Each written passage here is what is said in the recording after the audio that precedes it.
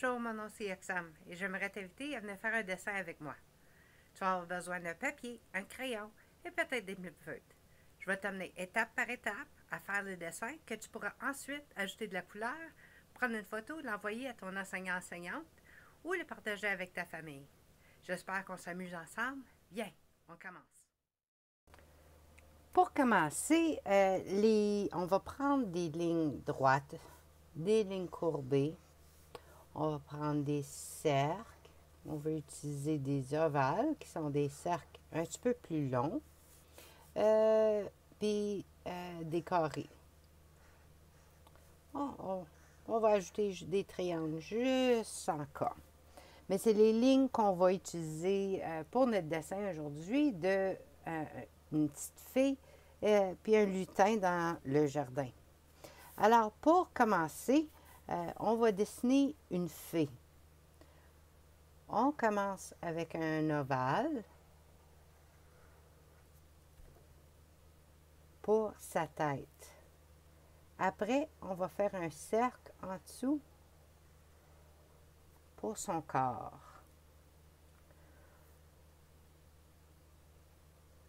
Fait quatre lignes qui va faire ses deux jambes avec un petit V en dessous pour le haut de ses souliers. Puis après ça, deux une grande ligne, une petite ligne qui sont attachées pour faire ses bottes. Maintenant, pour ses bras, à côté, on va faire deux lignes chaque côté, pareil comme ses jambes. Ça, ça va donner ses bras. Ici, au bout de celui-ci, parce qu'elle va tenir euh, un bâton, on va faire trois petits ovales. Un, deux, trois. Ça, c'est pareil comme ses, doigts.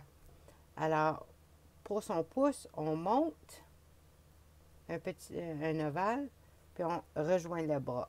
Puis après ça, une petite ligne. Ici, pour sa main, euh, qui est ce côté ici, si tu veux, tu peux juste faire une petite main avec des petites lignes courbées zigzag pour ses doigts, avec son pouce. Puis, je ne sais pas si elle a quelque chose dans sa main ou non. Si tu veux euh, ajouter peut-être une fleur ou quelque chose comme ça, euh, on peut. Maintenant, ici, je veux juste ajouter un petit bâton jusqu'en haut. Puis, on va faire une étoile. Pour commencer ton étoile, je commence avec une flèche. Pareil comme ça serait une flèche. Un V en haut. Puis en haut ici, je vais faire une autre pointe. C'est que là, j'ai un petit V ici, un grand V là. À côté, je vais faire deux lignes droites. Puis, je vais attacher ce point-ci à lui avec un autre V. Puis un autre V ici. Ça va te donner ton étoile sur son bâton magique. Maintenant, pour notre fée, on va aussi ajouter des cheveux. Si tu fais deux lignes courbées, une ici et une autre, ça va donner sa toupette. On va faire deux petits cercles ici pour les attaches de ses cheveux. là, on va faire une ligne courbée comme un S. Tu vois? Une ligne courbée, tu montes bien proche de ses oreilles, puis tu ressors. Après ça, une petite ligne courbée en dessous pour attacher ses cheveux. Maintenant, on peut faire ses yeux. Deux cercles pour ses yeux. Autour de ses yeux, je fais une ligne courbée comme une, canne de bonbons sur un bord et un autre, une canne de Noël. Tu vois comment que c'est juste courbé en haut, puis après ça, ça descend. Fais la même chose sur le bord de ses yeux. Après ça, j'ajoute deux petites queues, chaque barre. Ça va te donner la même chose que si ça serait ses cils. Tu peux en mettre plus qu'une si tu veux. Tu vois? Là, ça va te donner ses yeux. On va lui donner deux cils. Son nez, je fais une petite ligne courbée vers le bas. Puis là, sa petite bouche, je fais deux lignes courbées. Ça, son nez ici. Après ça, une belle ligne en dessous. Si tu veux avoir des grandes lèvres, tu peux faire juste un petit sourire. Tu peux faire un petit peu comme ça. Tiens, on va juste lui donner un petit sourire. Peut-être une bouche ouverte. Pour faire la bouche ouverte, tu fais comme un bateau. Une ligne droite, une ligne courbée, puis après ça, une petite ligne courbée pour sa langue. Là, on va lui donner son linge. Alors ici, on va mettre sa ceinture. Puis, je vais ajouter mes petites lignes pour sa robe.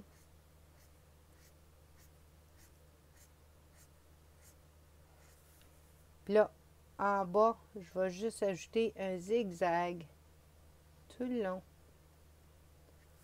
pour montrer que c'est sa robe.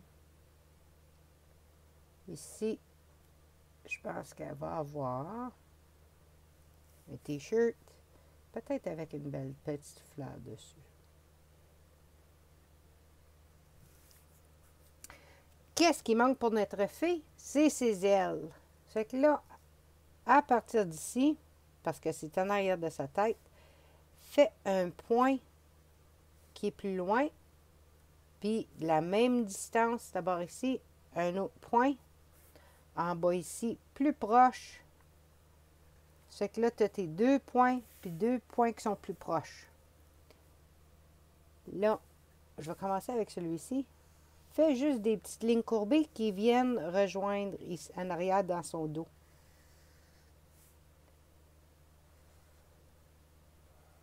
C'est que toutes les lignes vont venir rejoindre là, mais c'est juste que quand ça passe à travers de son corps, là, on arrête parce qu'on ne les voit pas. C'est que là, ça va t'aider à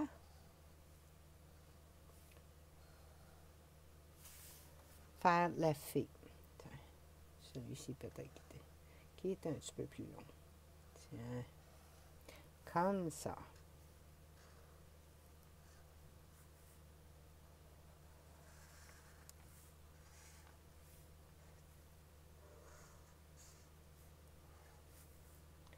Je vais les faire un petit peu plus noirs. Ou tu peux les laisser plus blancs. Là, tu peux les colorier. Pour faire le petit lutin dans le jardin aussi, on va commencer avec la même forme. Alors, on commence avec sa tête, un ovale.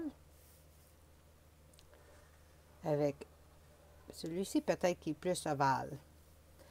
Moi, je veux dessiner ses pattes pliées.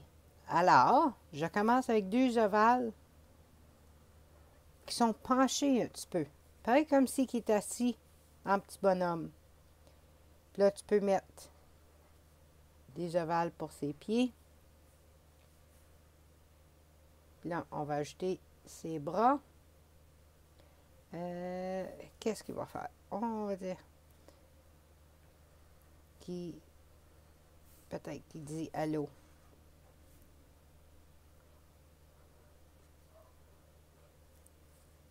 à son ami ici.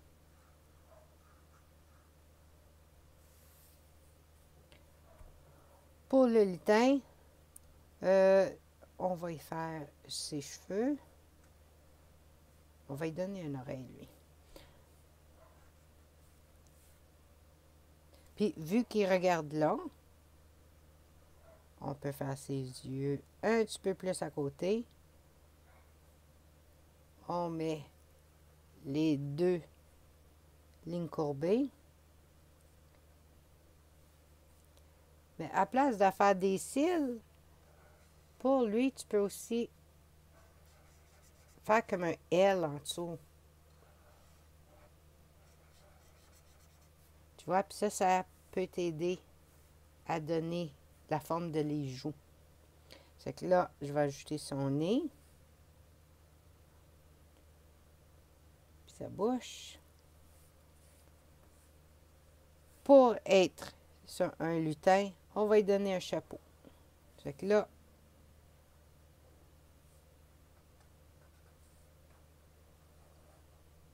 vu que moi je prends un marqueur, ben là, je vais, ça va être, euh, tu vas voir un petit peu de la ligne. Mais je fais un triangle en haut. Puis là, tu peux le laisser comme ça.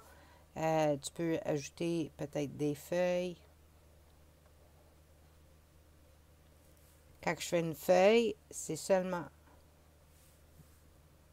C'est comme un œil. Deux lignes courbées qui se touchent. Après ça, tu fais une ligne au centre. Ça va te donner ta feuille. Pour son collet, je vais faire deux feuilles aussi. c'est un lutin des forêts avec trois boutons, deux, trois boutons. Sa ceinture. Puis là, ça a l'air comme si qui est assis ici à côté. Peut-être qu'il est assis sur un champignon. Pour faire le champignon, on va dessiner des lignes courbées puis le rejoindre.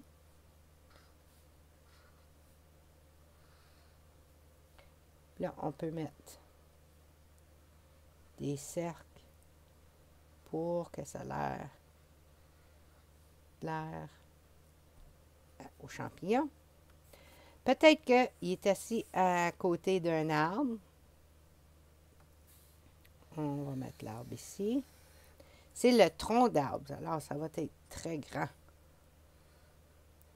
En bas, on fait un zigzag pour le tronc. Ici, on peut mettre des grandes lignes pour montrer que c'est l'écorce. Ici, si je fais un trou, puis je continue en spirale en dedans, ça va de là comme si c'est l'écorce. Là, mes lignes peuvent faire le tour. Puis là, j'ajoute des lignes courbées et des feuilles. Puis si tu n'es pas obligé de le couvrir avec des feuilles, tu as juste besoin d'en mettre un petit peu ici et là. Puis à fur et mesure de n'en mettre, c'est là, tu peux en mettre des petits et des grands c'est là que ça va avoir l'air plus comme un arbre, même si tu mets, tu mets pas des feuilles partout. C'est des lignes courbées avec des feuilles ici et là pour montrer que c'est ton arbre. Pour faire de l'herbe, je monte et je descends des zigzags. Tu peux le faire grand et petit. La même chose, ici, peut-être qu'on peut dessiner une fleur. Je commence avec la tige et le cercle. Fais tes lignes en premier pour faire la fleur. Ça va t'aider à avoir des pétales qui sont plus uniformes, qui sont plus pareils. C'est que là, tu fais tes, des lignes tout le tour. Après ça, tu peux juste prendre une ligne courbée puis venir les attacher, un attaché à l'autre. Puis tu vas voir, ça va te donner une, fleur qui est un petit peu plus uniforme qu'essayer de faire de les faire pétale pétale. C'est une autre euh, technique pour le faire. Même chose qu'on a fait avec les feuilles. Maintenant, tu peux ajouter une feuille. Si tu ajoutes quelques veines,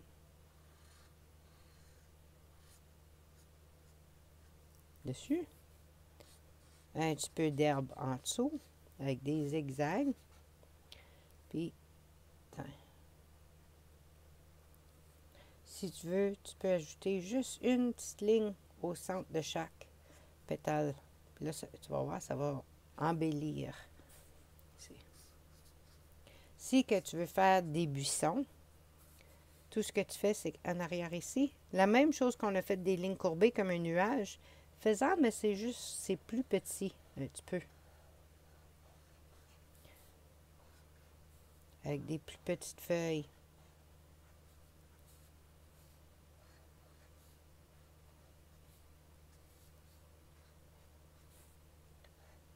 Puis là, quand tu ajoutes de la couleur, ben là, à place d'un nuage qui est blanc, ben là, tu le, tu le fais vert. Puis tu vas voir, ça va t'aider à donner l'impression, tiens, ça, ça, ça peut être les branches qui sont en dessous. Mais ça va aider à remplir ton espace si jamais que tu as des personnages, puis tu veux ajouter un arrière-plan, qu'est-ce qui est en arrière? Là, quand tu fais des buissons, des arbres, c'est juste que tu ajoutes de la couleur, puis là, ça va, de ça va être vert. Puis, si tu ajoutes des feuilles en dedans, c'est là que ça a l'air un petit peu plus comme si que c'est un buisson avec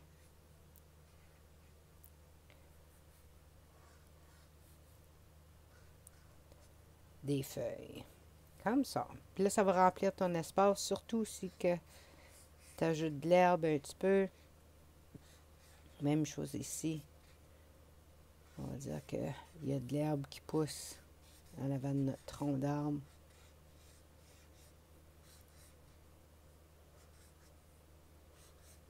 à côté de notre champignon.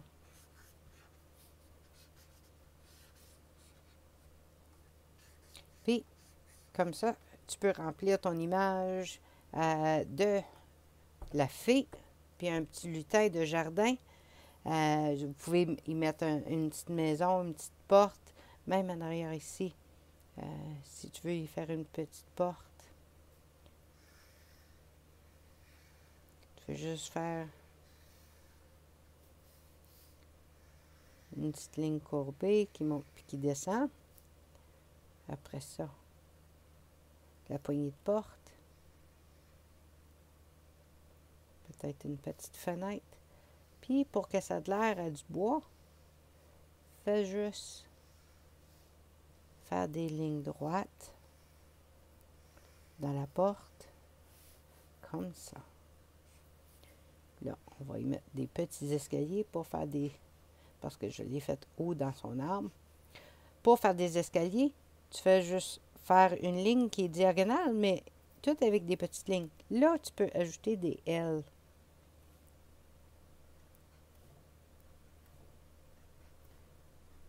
Ça va donner tes escaliers. Sur ce bord ici, tu fais ton L.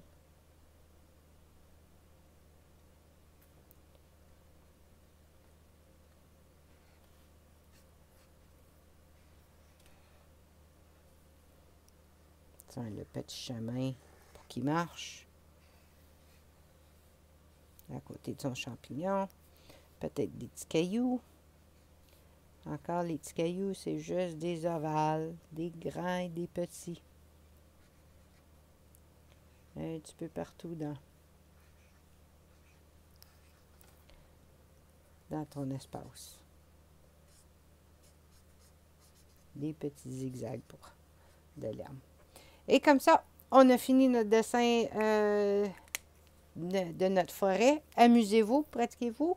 Si vous voulez, prenez une photo, envoyez-les à votre enseignant-enseignante, partagez-le avec votre famille, euh, pratiquez-vous. On s'amuse. À la prochaine!